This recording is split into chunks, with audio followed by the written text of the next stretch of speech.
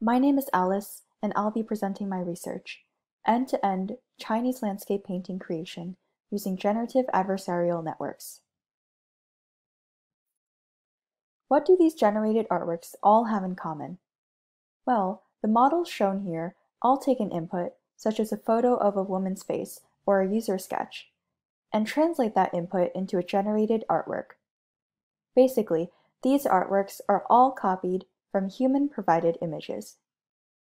This is a problem because these artworks are then not truly machine original. Thus, in the interest of moving toward a more original art generation process, our purpose was to not only generate Chinese landscape paintings, but also to do this in an end-to-end -end manner. That is, without the need for a human-provided image. The challenges are twofold.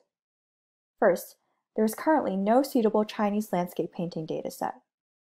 Second, we need to ensure that both content and style are realistic in the paintings. Content meaning high-level outlines of landscapes, for instance, and style meaning the low-level colors and textures of the painting. Here's our approach. We first collect a new dataset of traditional Chinese landscape paintings collected from online museum galleries such as the Smithsonian, Harvard, Princeton, and Metropolitan Museums of Art. This dataset is currently available for public use at the GitHub link shown here. How do artists create paintings? They sketch first and then paint. Similarly, we split our model into two steps, a SketchGAN and PaintGAN. Here, we show our proposed model Sketch and PaintGAN, or SapGAN for short. SketchGAN will first generate a latent vector and then an edge map, which serves as the sketch. PaintGAN will then take this sketch and translate it into a generated painting.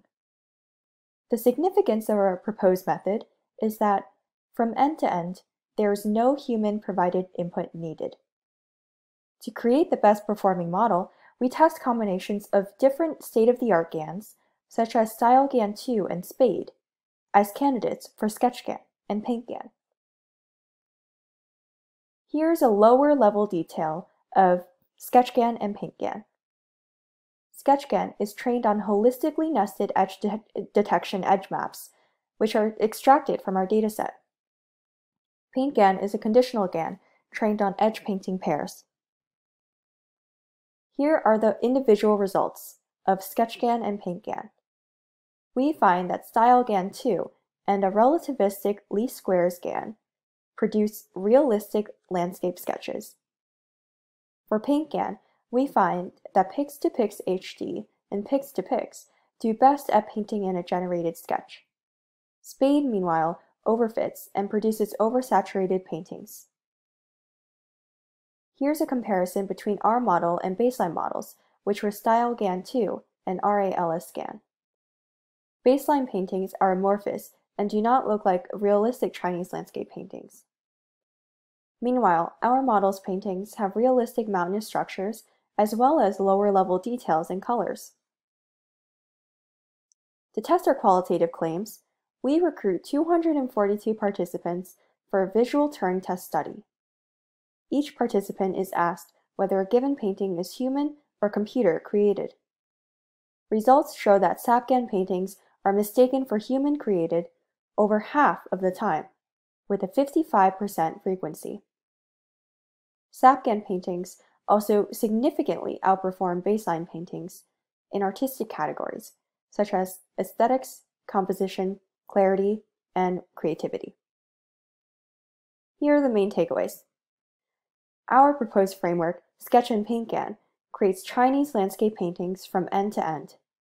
This means that, unlike previous artistic GANs, SapGAN generates paintings without conditional input. SapGAN paintings are often perceived as human-created. This work lays an important groundwork to allow for truly machine original art.